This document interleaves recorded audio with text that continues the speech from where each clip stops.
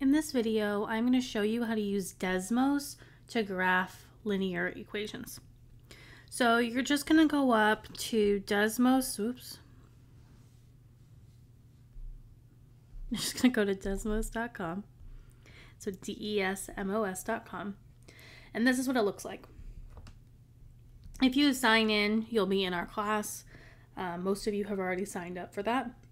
But for the purpose of today, you're just going to click right here where it says Graphing Calculator. And this is what your screen looks like.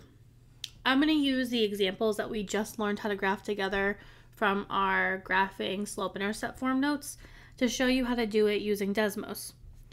So in line 1, I'm just going to type in y equals, and I'm going to type in the equation 2x plus 1. Now you can either use this keyboard that's down here at the bottom of the screen, or you can type all this using your keyboard on your computer. So you can see that we have our equation here. You can zoom out, you can zoom in.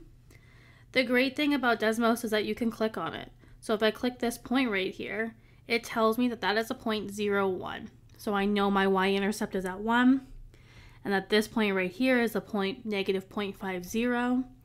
I could click up here and I could find out what that point is by scrolling, all of these things. So Desmos is a very useful tool. I could also, um, so if I wanted to, I could change the color.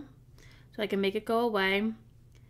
You could, if I hit, um, so I just cleared it out, but if you hit this little gear, you can change the color and things like that too. So let's try the next example. The next one we graphed was y equals negative 2 thirds.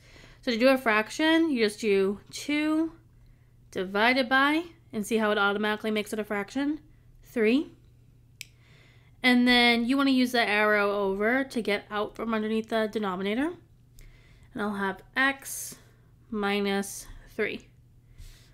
So here is that equation. If you wanted to change it, you could hit this little settings gear and you could change the color. You could change it to be a dashed line or a dotted line. Um, you can do all those things right here in Desmos.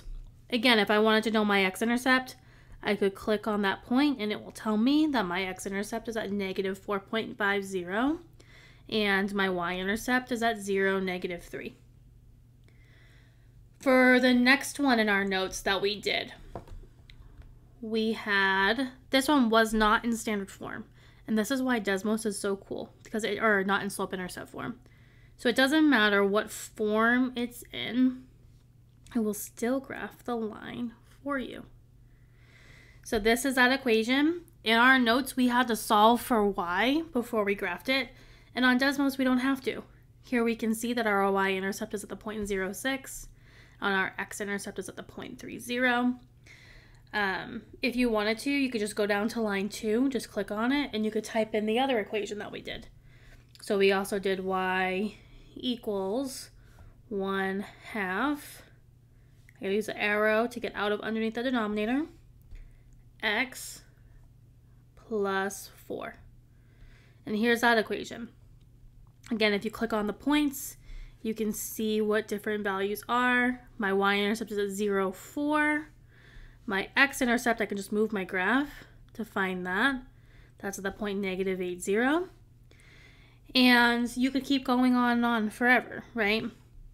The next one that we did was y equals negative x minus 1. If it's too many things on the screen, you can just hit the x's and get them off. Here you can see your x-intercept is negative 1 and your y-intercept is negative 1. If you haven't played around with this on your own yet, I highly recommend that you do. Just go to desmos.com, click on Graphing Calculator, and start entering in your equations. That way you know how to use this. This tool will be available to you on tests, and it will also be available to you on the Georgia Milestone that you will take in the spring. So this is definitely something that you want to get to learn how to use. That way, when it comes time for testing, you know how to use it. If you have any questions at all, please do not hesitate to ask. I am more than happy to assist you.